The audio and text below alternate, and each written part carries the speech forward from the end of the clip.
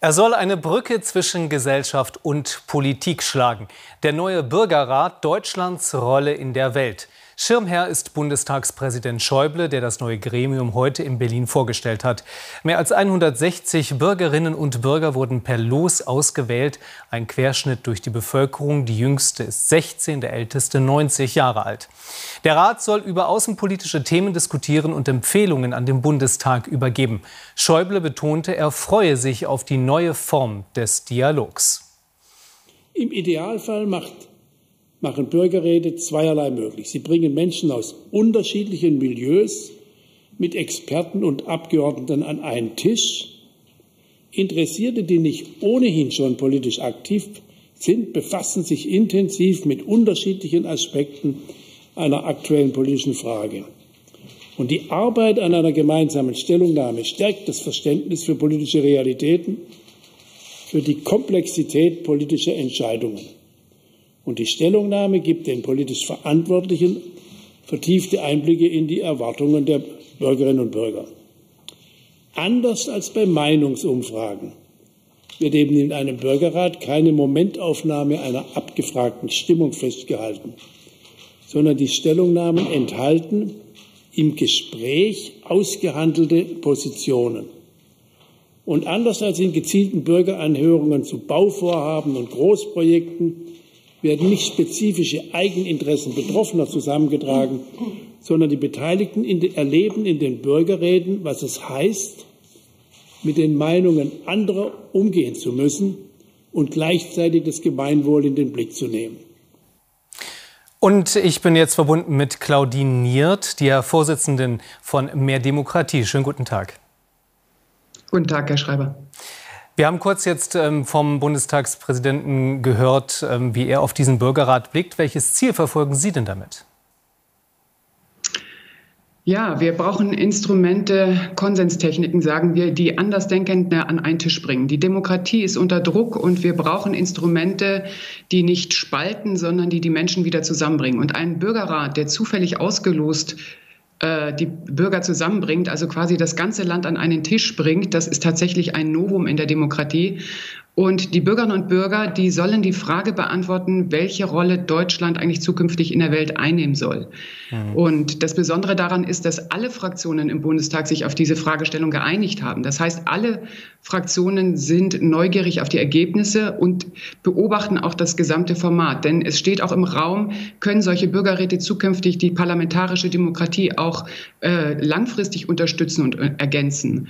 Mhm. Also erleben die Abgeordneten tatsächlich einen Mehrwert dadurch, dass die Bürgerinnen und Bürger so eine Fragestellung beantworten. Ja, weil Sie gerade sagen, ein Novum in der Demokratie, aber es gab ja ein Vorbild dafür in Irland, richtig? Richtig. Unser Vorbild ist Irland. In Irland hat sich das Parlament in der gleichgeschlechtlichen Ehe und im Abtreibungsrecht nicht einigen können und hat die Fragen an ein zufällig zusammengesetztes Gremium gegeben und hat sich danach die Empfehlung umgesetzt, hat sie sogar noch in einem Referendum beschließen lassen. Hm. Weil Sie eben gesagt haben, äh, sozusagen ist es ein Querschnitt der, der Menschen in Deutschland zufällig ausgewählt. Ähm, wie genau ist denn das dann geschehen, damit man auch tatsächlich einen solchen ähm, Querschnitt auch ähm, einigermaßen repräsentativ abbildet? Ja, also jede Bürgerin und jeder Bürger konnte ausgelost werden. Wir haben ähm, aus den Melderegistern per Zufallsalgorithmus ausgelost und wir haben dann allerdings den Querschnitt der Bevölkerung nach vier Kriterien zusammengesetzt, also gespiegelt quasi nach Alter, nach Geschlecht, nach Migrationshintergrund und nach Bildungsabschluss, so dass wir tatsächlich auch einen guten Querschnitt zusammenbekommen haben.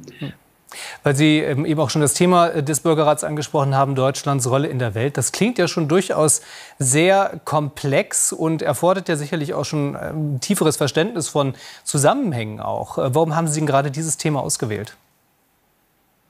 Ja, wir von Mehr Demokratie haben das Thema gar nicht ausgewählt. Wir organisieren den Bürgerrat. Ausgewählt hat tatsächlich der Bundestag das Thema.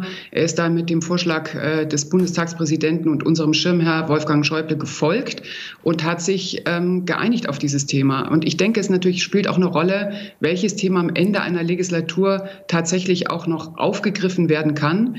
Und der Bürgerrat wird sicher eine Orientierungshilfe, also Leitlinien, einen Wegweiser für die Zukunft erarbeiten, wie sich Deutschland im Ausland verhalten soll, aber auch konkrete Ergebnisse für die jetzt noch äh, Restlegislatur. Und wir haben das Thema runtergebrochen. Also die Rolle Deutschlands wird in dem Themenfeld Frieden und Sicherheit eine Rolle spielen, aber auch in Wirtschaft und Handel, in Nachhaltigkeit und Entwicklung, in Demokratie und Rechtsstaatlichkeit und in der Europäischen Union. Hm. Das wollte ich gerade nur sagen. Vielleicht kann man das aber auch noch ein bisschen weiter runterbrechen, weil das sind ja immer noch sehr große Oberbegriffe und Themen. Wie muss man sich das denn konkret vorstellen? Da wird also ein solches Thema in diesem Bürgerrat in den Raum gestellt und was passiert dann? Ja, die Bürgerinnen und Bürger werden dann im Bürgerrat nochmal ausgelost, auch in sogenannte Reisegruppen, die diese Themen äh, bearbeiten und vertiefen. Und Sie müssen sich vorstellen, die Rolle Deutschlands kann man einfach beantworten. Sollen wir zurückhaltend sein? Sollen wir aktiv sein? Sollen wir mehr Verantwortung in der Welt übernehmen? Aber das spielt natürlich in einer Wirtschaftspolitik eine andere Rolle als zum Beispiel in der Menschenrechtspolitik. Gucken Sie unsere Beziehung nach China an. Wir haben große Handelsbeziehungen nach China, die wollen wir sicher aufrechterhalten. Trotzdem erleben wir, dass China auch, was die Menschenrechte angeht, auch äh, äh Pro Probleme mit hervorbringt. Und wie soll Deutschland sich zum Beispiel in solchen Situationen verhalten? Darauf äh, erhoffen wir uns Antworten, aber überhaupt auch in der militärischen, ähm, äh, in militärischen Auftreten im Ausland. Ähm, Sicher wird auch die Drohnenfrage vielleicht eine Rolle spielen. Das werden wir jetzt im Laufe der nächsten zehn Sitzungstage sehen. Also die Bürgerräte werden zehn Tage äh, unter der Vorsitzenden Marianne Birtler tagen und werden Ergebnisse erarbeiten, Empfehlungen erarbeiten und die dann am 19. März dem Bundestag und dem Bundestagspräsidenten übergeben. Lodiniert. Ganz herzlichen wir Dank. Wir sind gespannt. Nicht, was da rauskommt. Ganz herzlichen Dank für das Gespräch an dieser Stelle, Lodiniert.